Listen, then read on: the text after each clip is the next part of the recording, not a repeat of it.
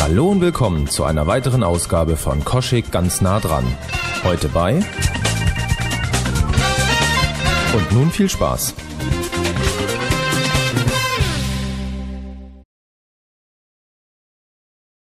Kommen wir zum zweiten Gang. Fisch, anspruchsvoll, Zander. Wir werden jetzt einen Zander zubereiten äh, mit einer Kartoffelkruste. Genau. Dazu gibt es Champagnerkraut und eine leichte Specksoße. Genau. Und wie gehen wir da vor? Also prinzipiell fangen wir jetzt erstmal mit der Grundvorbereitung an. Fisch zurechtschneiden, mit Gräten, danach sozusagen Kraut aufsetzen, beziehungsweise das eigentlich schon vorher, weil es am längsten dauert. Dann den Fisch machen, danach halten wir die Kruste uns zusammen und dann setzen wir alles an. Soßen haben wir schon soweit vorbereitet, ist eine Bechermehl, Speck ausgelassen, eingerührt.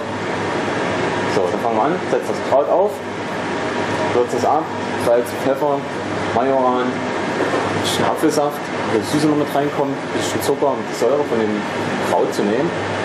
Dann ganz zum Schluss, bevor wir es dann anrichten, setzen wir dann den Champagner mit dazu. Jawohl. Dann nimmt das am meisten Geschmack mit auf. Also der Champagner kommt am Schluss Der rein. kommt dann erst ganz zum Schluss mit rein. Jawohl. Und der Zander, der vorbereitete Zander wird dann angebraten. vorbereitet zusammen, genau. Starten wir halt ein Exemplar hier. Das ist dann eine Portion. Ja. Dann ist eine kleine Zange. Und wenn man bei dem Fisch gegen den Strich fährt, merkt man die Gräten. Dann nehme ich mal einfach meine Zange und auch fühle die Gräten und ziehe sie dann einfach raus, wenn sie drin will. Dann schon hier kleine Gräten. Versuchen, so wenig wie möglich das Fleisch zu beschädigen, weil sonst hat der Gast am Ende nichts von dem Fisch. Kruste für den Zander. Genau. Nehmen wir uns Schale Kartoffeln, reiben sie grob, mal schön eine Raspe. Wichtig finde ich dabei, die Kartoffeln danach auszudrücken, weil die besser. Das Wasser wollen wir nicht haben, also drücken wir das Wasser dann einfach aus. Noch eine trockene Masse. Nehmen wir uns ein Ei. Können wir ruhig ein Vollei nehmen. Also Ei weiß und Eigelb. Eigelb, genau, richtig. Können wir einfach rein. Kommt etwas Mehl dazu für die Bindung.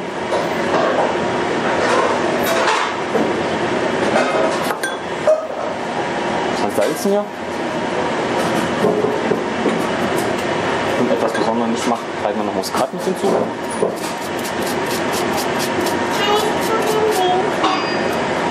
Jetzt kommt die ganz wichtigste Mitköchin, nämlich die Lotta Jung. Lotta, hilfst du mir?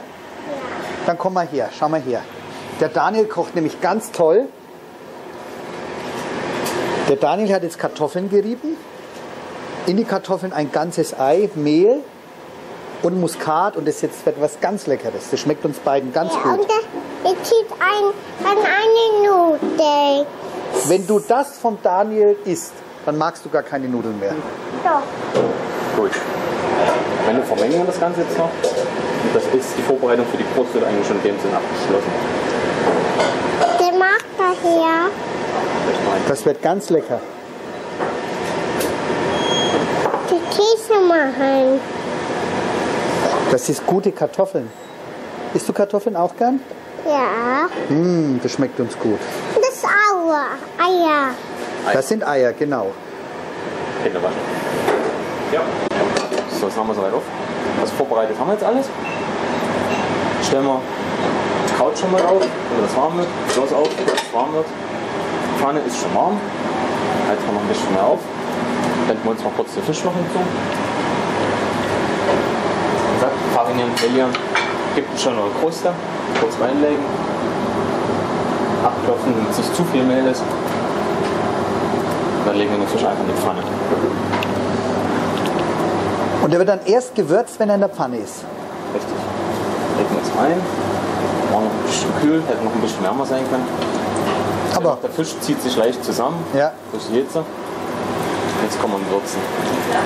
und der wird nur von einer Seite meliert. Richtig, da wird hauptsächlich nur auf der Hautseite meliert. Jawohl. Weil sonst habe ich auf der Fleischseite, die ich eigentlich ja esse, zu viel. Nee, das schmeckt man raus. Gewürze tun man halt eben auch auf die Fleischseite, weil dann können die Gewürze in das Fleisch einziehen und das schmeckt man dann auch raus.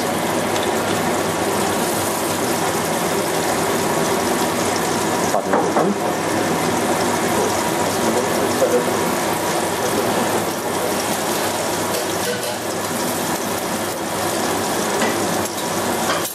Da haben wir ja gesagt, das ist eine Specksoße. Schon mal Speck ausgelassen, damit er kross ist und das ganze Fett abgelassen, sonst würde die Soße ja fettig werden. Kriegen wir jetzt einfach dazu die Speckwürfel. Das können wir noch ein bisschen Geschmack mit abgeben. Und die Soße ist eine Eine Bechermilch Bechermehlsoße. raus, das war's. Wenn wir das war's, kann man den Verfangen schon mal hinzugeben.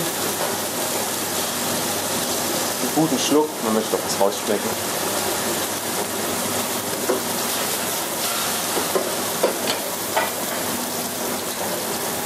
Wir nehmen eine Palette, wenden das Fisch, damit man auf der Fleischseite ebenfalls nochmal anbraten kann.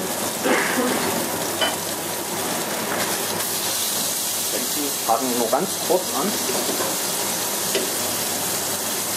Heben uns der Kruste. Rühren nochmal gründlich durch.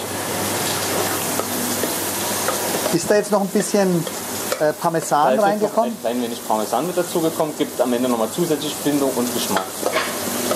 So, stellen wir das mal daneben. Hatte ich ja gesagt, frischen Kräuter nieder, Wieder Thymian? Thymian und klein wenig Rosmarin. Kommt mit in die Pfanne. Richtig. Zitrone spritzen wir unter das Fleisch. Legen die Zitrone einfach mit dazu. Gibt den ganzen Geschmack ab. So, das reicht eigentlich die Vorbereitung schon aus. Jetzt kommt am Ende noch die Brust drauf.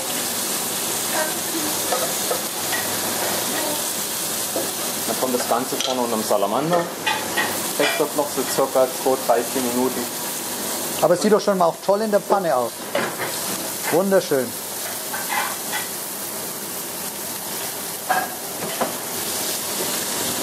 Unser Sauerkraut, unser Champagnerkraut. Entschuldigung. Setzen wir es in die Mitte. Wichtig, dass der Teller halt vorgewärmt ist, sonst gibt das wiederum ein kaltes Essen. Wir das dann und fertig gebratenen Zander. Ah, vor allem die Kräuter duften toll. Setzen den oben fein so wirklich drauf. Wir noch frische Kräuter haben, die noch mal zum Schluss kurz mit reingeschmissen haben, die wir ebenfalls oben mit draufsetzen. Das gibt dem Ganzen noch einen optischen Toll. Wir nehmen dann unsere Soße.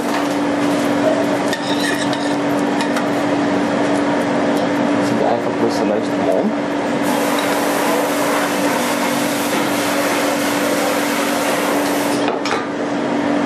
Setzen die Ganzen noch das haben wir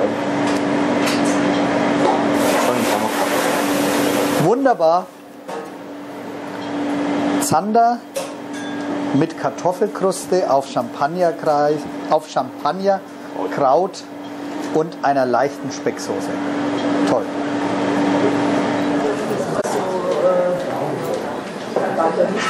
So, bitteschön. Zander mit Kartoffelkruste auf Champagnerkraut und leichter Specksoße.